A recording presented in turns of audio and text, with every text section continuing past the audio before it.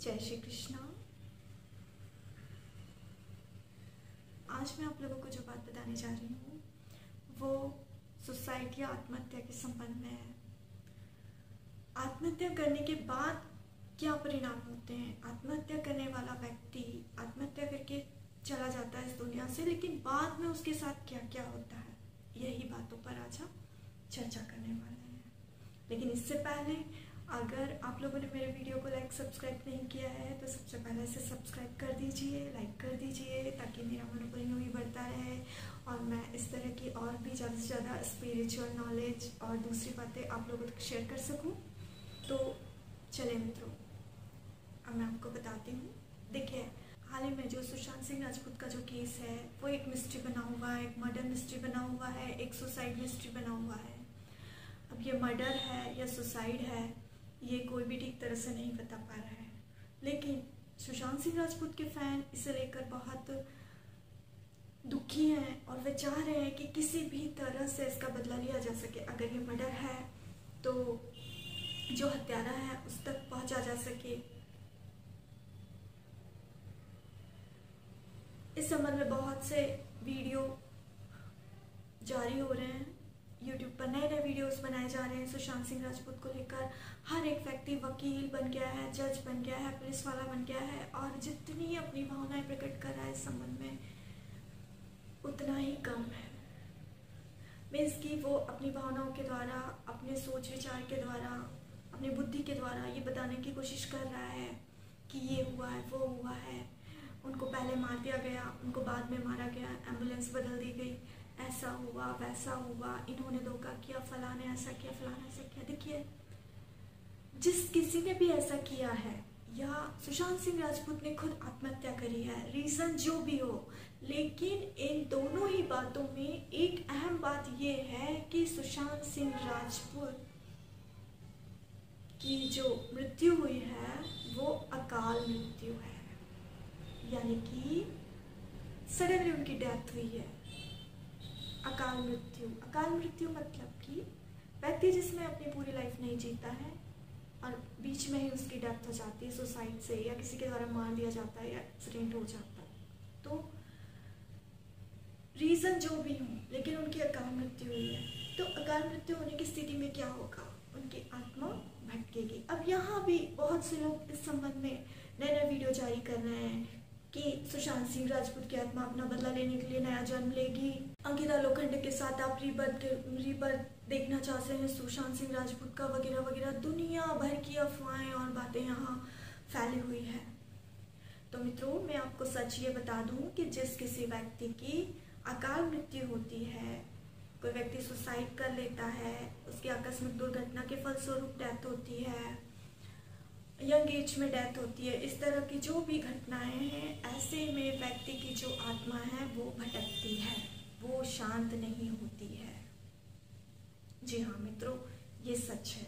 अब अगर कोई आपके, आपको ये बरगलाने की कोशिश कर रहा है, या आपको गुमराह करने की कोशिश कर रहा है कि सुशांत सिंह राजपूत की आत्मा ने जन्म ले लिया है, और वो अपना बदला लेने के लिए जल्दी ही आ रही है, या अंकिता लोखंडे के साथ उसका पुनर्जन्म होने वाला है, या इस तरह की वगैरह वगैरह दुनिया भर की जो बातें हैं, मैं आपको बता दूँ, ये सारी बात झूठ है।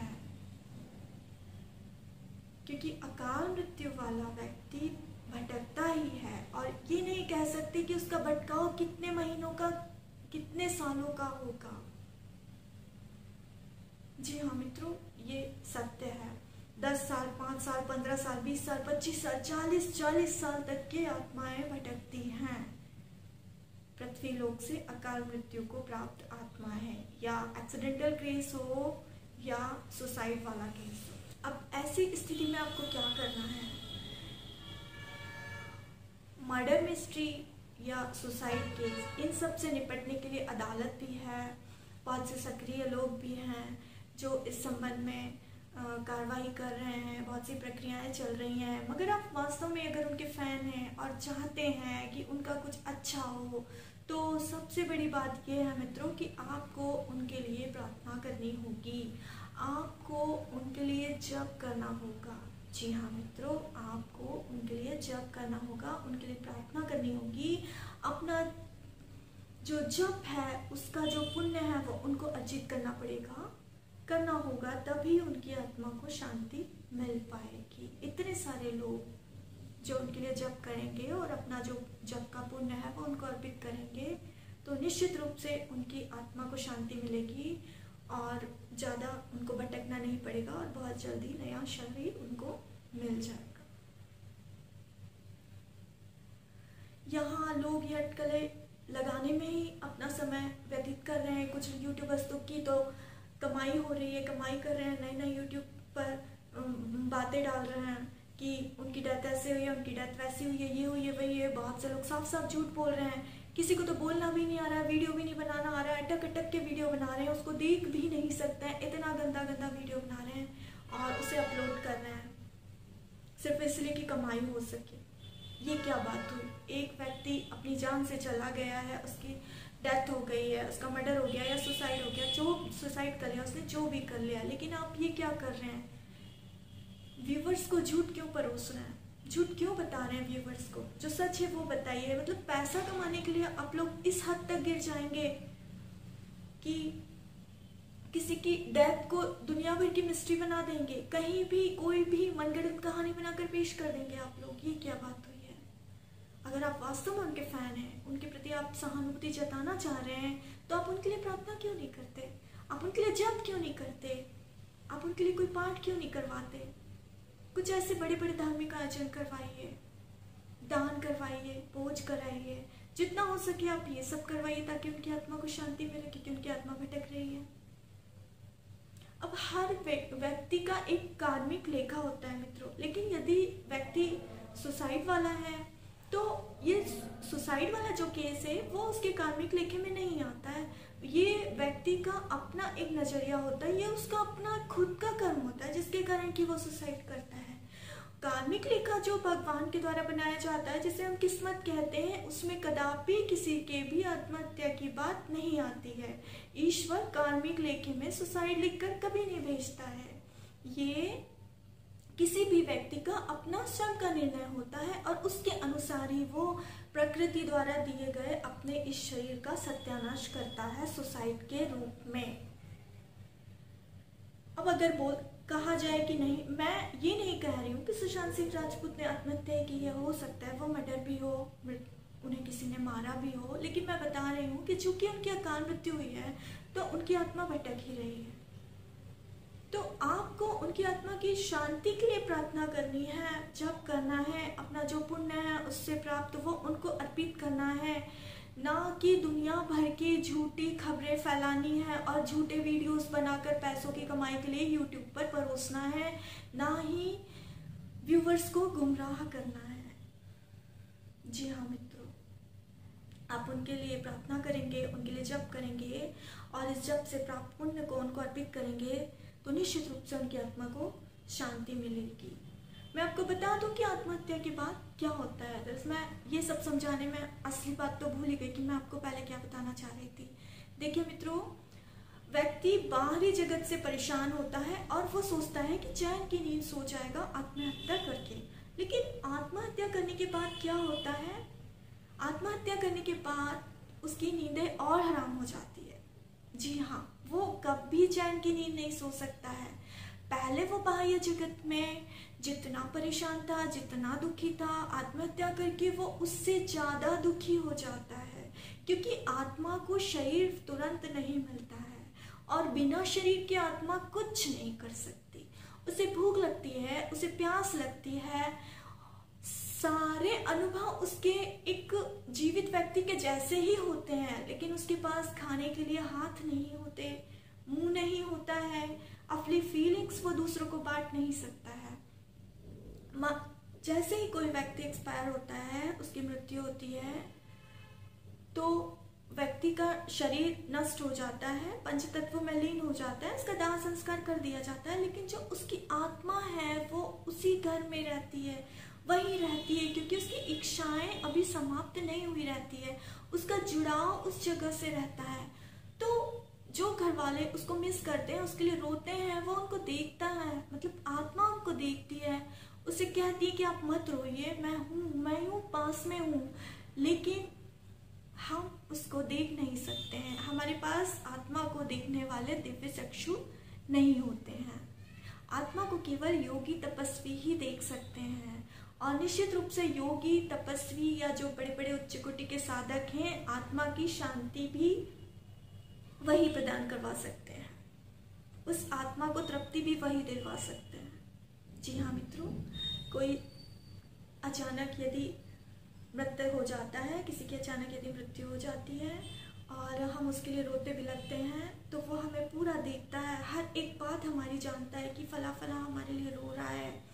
ये परेशान हो रहा है ये झूठी कार्रवाई कर रहा है, इसने ऐसा किया है, उसने वैसा किया है। और वो समय समय पे आपको बताता है, आपके आसपास भी रहता है, लेकिन आप उसे नहीं देख पाते क्योंकि उसके पास देह नहीं होती है। और वो इतना पछताता है, बहुत पछताता है। तो उसका जो जीवन पहले नर्क था, जिसके कारण उसने आत्महत्या करी थी, उससे ज़्यादा नरकीय जीवन उसका आत्महत्या करने के बाद हो जाता है। ग्रंथों में लिखा है कि प्रकृति ने ये जो शरीर दिया है और इस शरीर का कोई अपमान करता है और आत्मघात करके इसको समाप्त कर देता है तो वो व्यक्ति इतना बड़ा पापी हो जाता है कि मृत्यु के उपरांत उसके शव को भी किसी को हाथ नहीं लगाना चाहिए, वरना वो भी पाप का भागीदारी हो जाएगा। तो मृत्यु के उपरांत उसके शव को किसी चंडाल से घसीटवा घसीटवा करके उसका दाह संस्कार करा देना चाहिए। उसको छूना तक नहीं चाहिए। इतना बड़ा महापातक बताया गया है आत्महत्या को। और अब आप सोचिए कि लोग बाह्य जगत से रिश्ता तोड़ने के लिए परेशान होकर आत्महत्या का सहारा लेते हैं। और आत्महत्या करने के बाद उनको तुरंत देह मिलने वाली नहीं रहती। इस बात की कोई गारंटी नहीं होती है। पाँच साल, दस साल, पंद्रह साल, बीस साल, चालीस साल, पच्चीस साल साठ साठ साल तक की आत्माएँ भटकती हैं और बड़े बड़े योगियों तपस्वियों से वो प्रार्थना करती हैं, उनके सामने गिड़गिड़ाती हैं कि वो उनके घर वालों से कहें कि वो उन्हें मुक्त करें, उनके लिए कुछ करें। जी हाँ मित्रों, ये सत्य है। तो इसीलिए यदि कोई आपसे कहता है सुशांत सिंह राजपूत ने जन्म ले लिया है, ऐसा हो गया, वैसा हो गया, ये हो गया, वो हो गया, उनके साथ उनका रिबर्थ होगा, उनका दोबारा जन्म होगा, वो उससे बदला लेंगी, ये होगा तो इनकी बातों में बिल्कुल मत आइए। सच बात ये है कि तुरंत किसी भी अकाल मृत्यु प्राप्त आत्मा को देह नहीं मिलती है।